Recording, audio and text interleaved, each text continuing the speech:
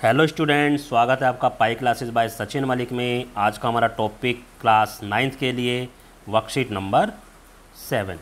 तो इसमें देखो क्या कह रहा है, hello student, today we are going to discuss about linear equation. ये है हमारा टॉपिक कि लीनियर इक्वेशंस क्या होती हैं।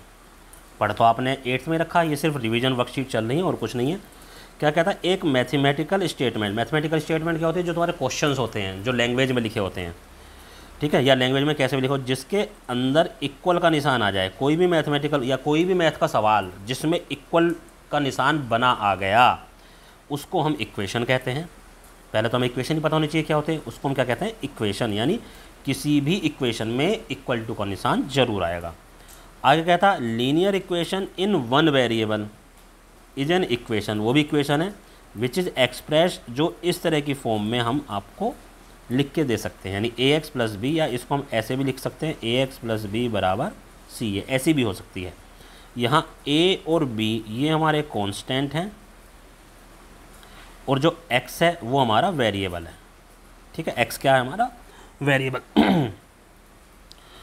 अब आगे कहता है x is a variable and has only one solution क्योंकि क्योंकि वन वेरिएबल है तो वन ही सॉल्यूशन आएगा। टू वेरिएबल होते हैं तो टू सॉल्यूशन आ जाते हैं। अब इसको हम लीनियर इक्वेशन क्यों कहेंगे? क्योंकि लीनियर इक्वेशन वो होती हैं जिसमें वेरिएबल की हाईएस्ट पावर वन होती है। जो वेरिएबल है, उसकी हाईएस्ट पावर हमारी क्या होनी चाहिए? वन देखो, जैसे यहाँ पर एक्स है। एक्स के ऊपर कोई पावर दिखाई दे रही है आपको?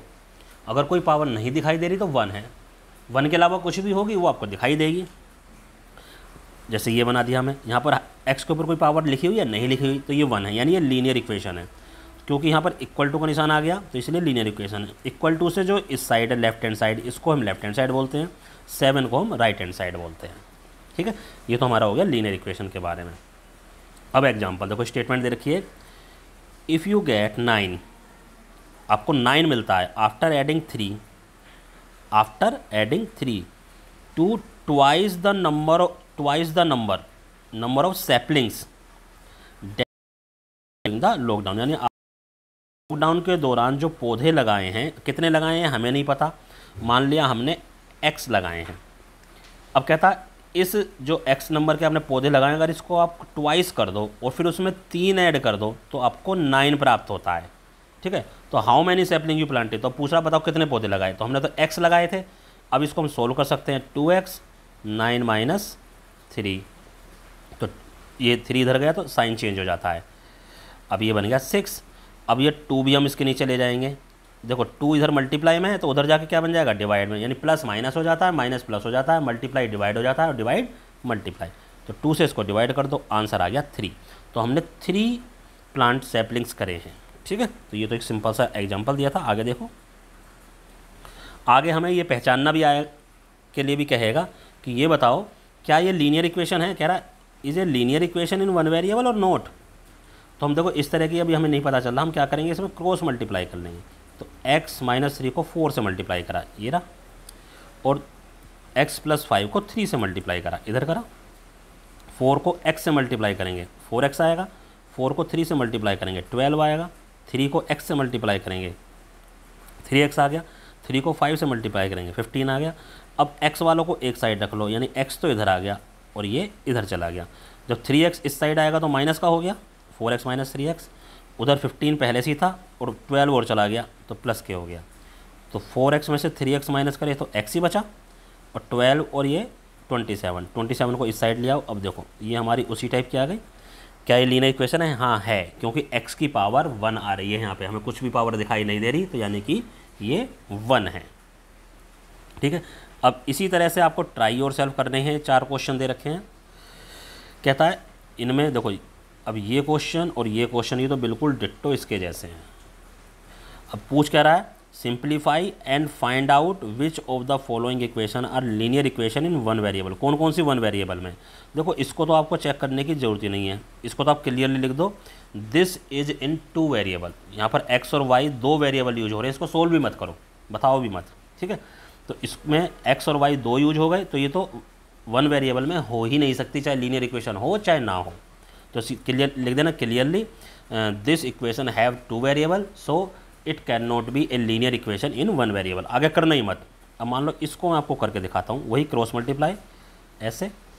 तो थ्री की मल्टीप्लाई पी प्लस फाइव से, और पी की मल्टीप्लाई पी माइनस सेवन से। देखो, ये हो जाएगा थ्री पी पी से मल्टीप्लाई करा, पाँच से करूँगा तो पंद्रह। पी की पी से मल्टीप्लाई करोगे पी स्क्वायर माइनस के सेवन पी सबको उस साइड ले जाओ।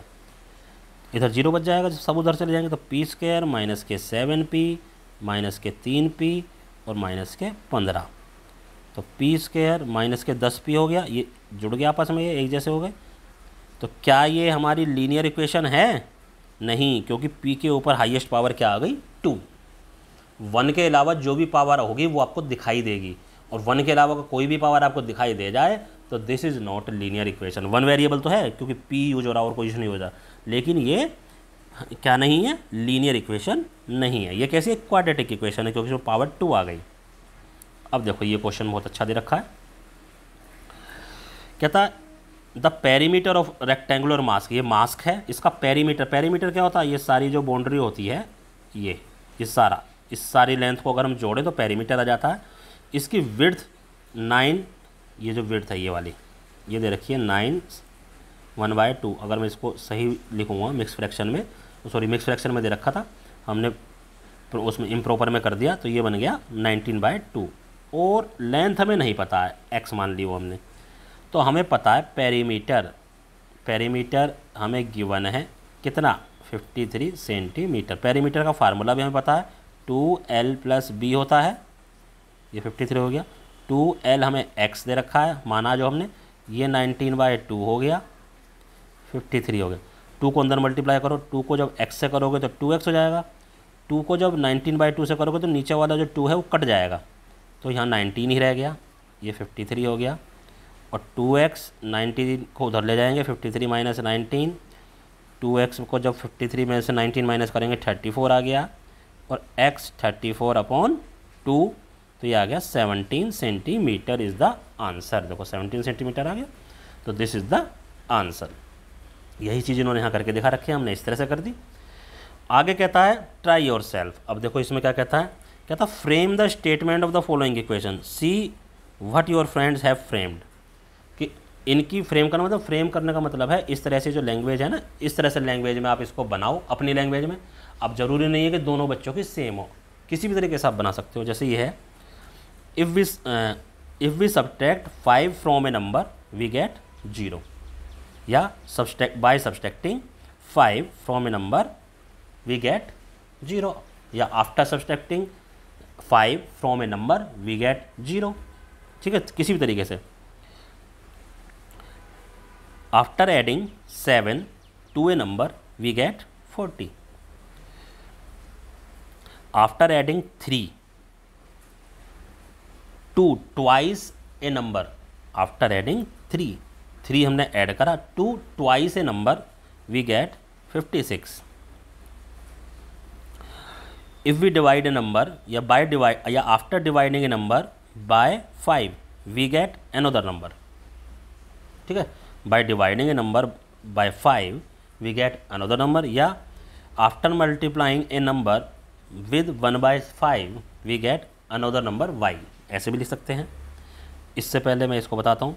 After adding nine to twice a number we get twenty seven अब ये है मेन इसको आप अपनी लैंग्वेज में कैसे लिख सकते हैं? अब हम क्या लिखेंगे बाय डिवाइडिंग सिक्स या आफ्टर डिवाइडिंग सिक्स क्या इस तरह से?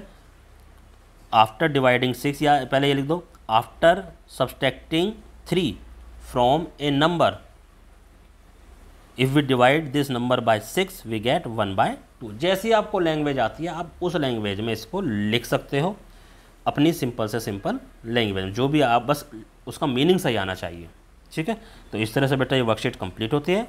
ये आपको साफ़ साफ़ अपनी कॉपी में सारे सम्स करने हैं और अपने अपने टीचर को व्हाट्सएप पर सेंड करने हैं। धन्यवाद।